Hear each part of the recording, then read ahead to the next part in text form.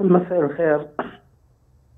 آه، يعني أعتقد طالما لم يقف المجتمع الدولي أمام مسؤولياته القانونية والانسانيه ستستمر إسرائيل حيث ان لا ضغوط حقيقية عليها وبالتالي هي سترغب بالاستمرار لتحقيق ما تريده وهو آه، إخراج حماس آه، من غزة. وطبعا سيذهب ضحية ذلك آلاف الأطفال والنساء. لأن المكان مكتظ آه، بال- بال- بسكان غزة. نعم. وإسرائيل لا تملك أي رادع أخلاقي لا تملك أيضا منظومة حقوقية في ذهن عسكرها الذي يريد أن يستخدم قوة غاشمة بعيدة عن القانون الدولي والقانون الدولي للإنسان كيف يمكن إلزامها اليوم دكتور بالقانون الدولي والقانون الدولي الإنساني؟ لا يمكن ذلك إلا من خلال المؤسسات الدولية. ومن قبل آه، مجموعة من الدول آه، التي تملك ذات نفوذ عالمي وهذا لا يحدث اليوم. للأسف نرى الولايات المتحدة والدول الأوروبية صامتة عن عملية وقف النار آه، وقف إطلاق النار والأردن استطاع من خلال الجمعية العمومية للأمم المتحدة استصدار قرار ولكن هذا القرار غير ملزم بوقف إطلاق النار. نعم. القرار الملزم هو قرار من مجلس الأمن ونحن نعلم أن الولايات المتحدة تستخدم فيتو في أي اتجاه بها. كيف يمكن البناء على هذا القرار الذي أصدر في الجمعية العامة للأمم المتحدة والذهاب به إلى مجلس الأمن للبناء عليه أيضا؟ يعني آه، وقف إطلاق النار لا يمكن الآن بأي طريقة من الطرق. ما لم يكن هناك ضغط دولي حقيقي. ولكن يمكن من الآن أن نبدأ ببناء قضايا آه، ذات بعد آه، جرائم حقوق في حقوق الإنسان أو جرائم دولية ضد الإنسانية عبر جمع الأدلة والبينات والتوثيق. كل ذلك آه، يمكن رفعه أمام جهات دولية ضد آه، قيادات العصابات الصهيونية وبالتالي يمكن أن نمنعهم من السفر ويصبح العالم مكان خطير عليهم. لا يستطيعوا أن يغادروا تلك البقعة حتى لا يتم القبض عليهم وتعرضهم للمحاكمات الدولية.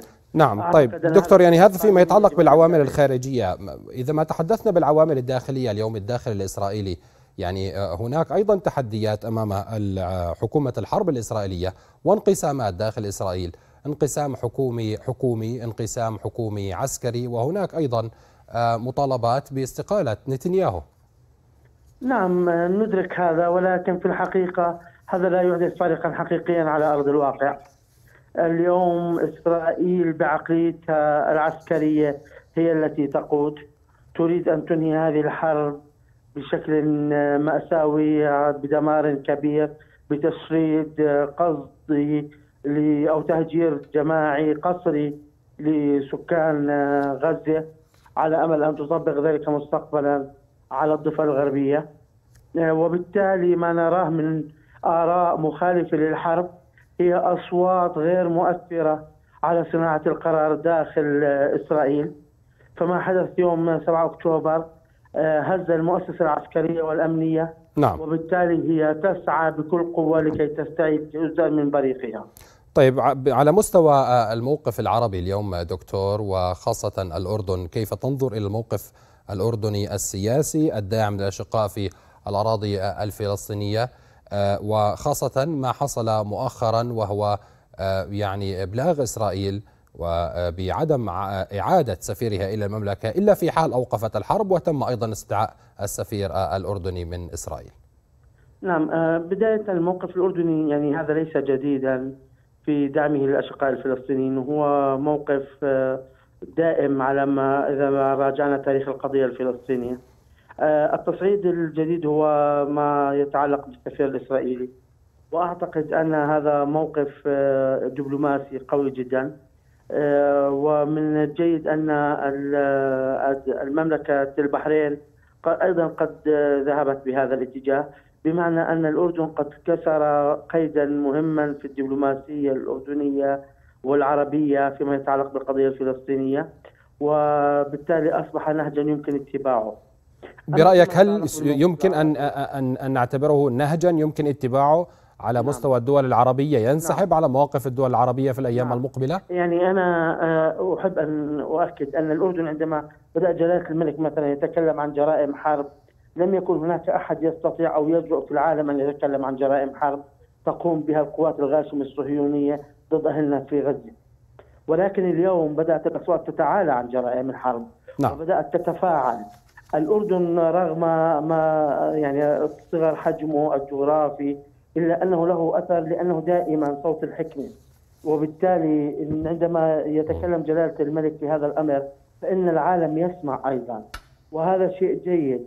وبالتالي يمكن أن يكون هذا نهج.